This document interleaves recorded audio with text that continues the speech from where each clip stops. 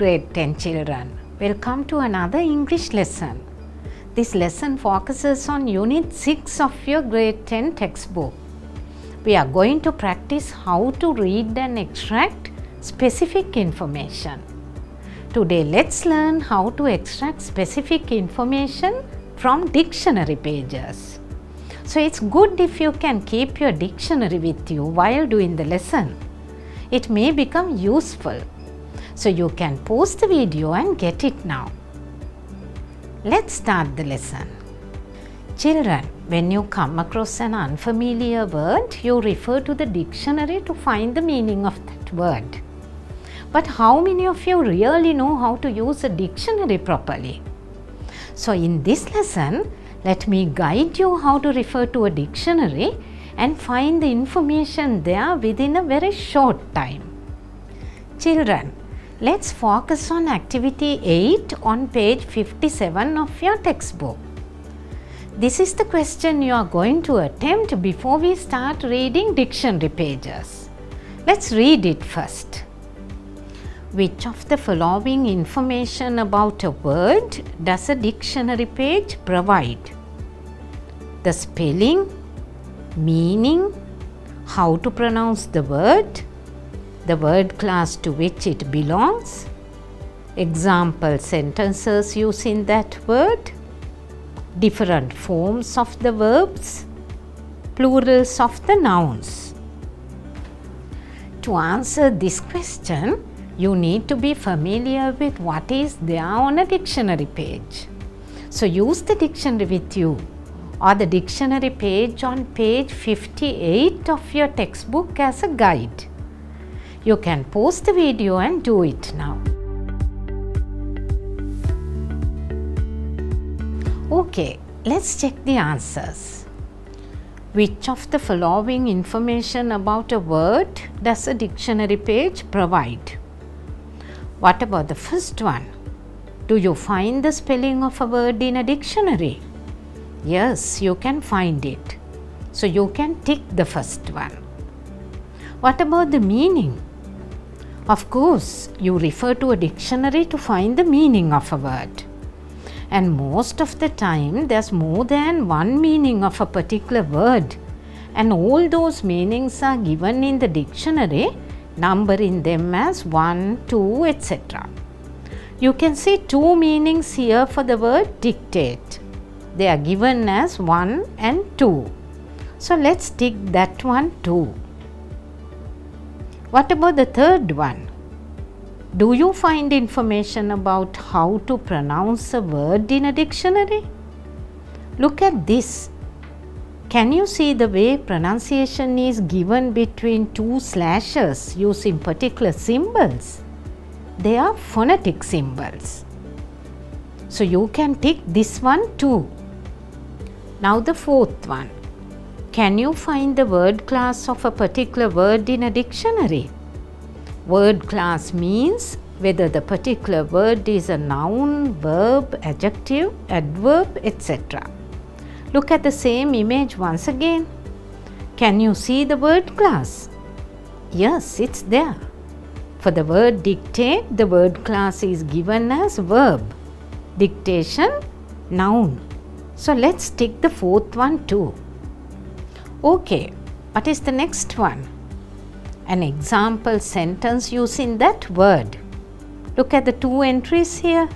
I'm sure you can see example sentences. For the word dictate, you can see two sentences. She dictated a letter to her secretary and you can't dictate to me where I should go. For each meaning, there is an example sentence. So let's tick the fifth one too. Now the sixth one.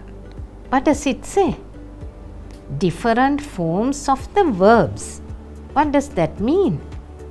Look at the first entry here. It's dictate. Can you see the different forms of dictate here? They are given within brackets as dictates, dictating and dictated. That means third person singular form, ing form and the past tense form. So let's tick that one too. Now the last one, plurals of nouns. Do you find the plural of diary here? Yes, it is there as diaries. So we can tick this one too. Okay, now you can understand that a dictionary is something very resourceful. It can be used not only to find the meanings of words but also for many other purposes. Children, now let's answer some questions based on dictionary pages. In this activity, you have to study this dictionary page and answer 5 questions. The questions are almost same and very simple as it's your first activity. These are the 5 questions. You can pause the video and answer them now.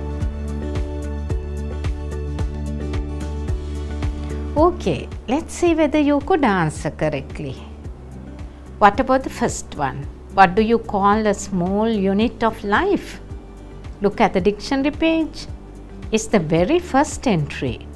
A small unit of life is called a cell. Now the second one. From which language does the word February come? This means the origin of the word February. Now, where is the word February? Okay, now here it is. Could you find the answer?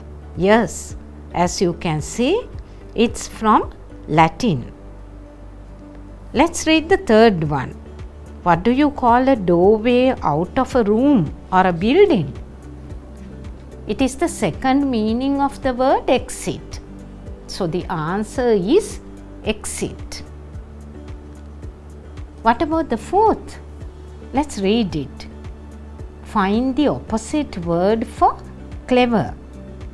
Look at the dictionary entry for the adjective clever now. Can you see the word antonym there at the end? As you know, antonym means the opposite. There are three opposites here. What are they? Stupid, slow, and dumb. So you can write any one of the three words as your answer. Now the fifth one. What is the meaning of expensive? It has only one meaning. What is that? Costly or high priced. So you have to write that as your answer. Hope you could find answers to all the questions correctly. Children, let's do a question which I have taken from a past paper now. Look at this dictionary page. You have to study the dictionary page and answer these questions. You can pause the video and do the activity now.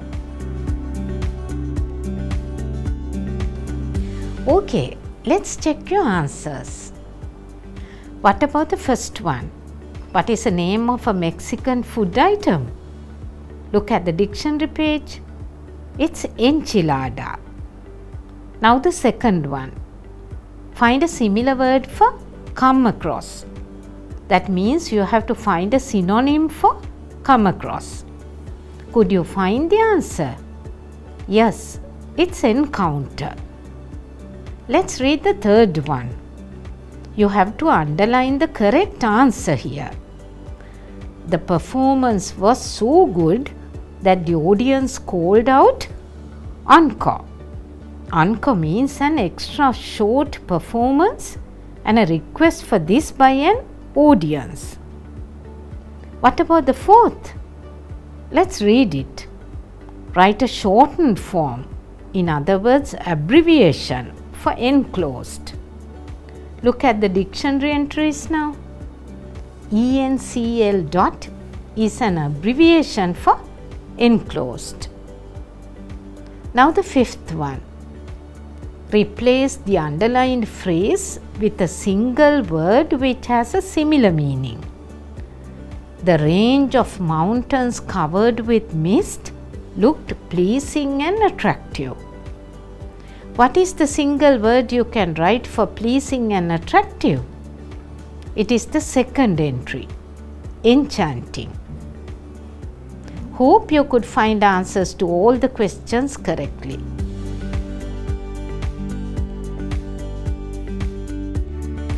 Children, that marks the end of our lesson. In this lesson, we practiced how to extract specific information from dictionary pages. I hope it is useful and you enjoyed the lesson. Please subscribe to our channel. Goodbye.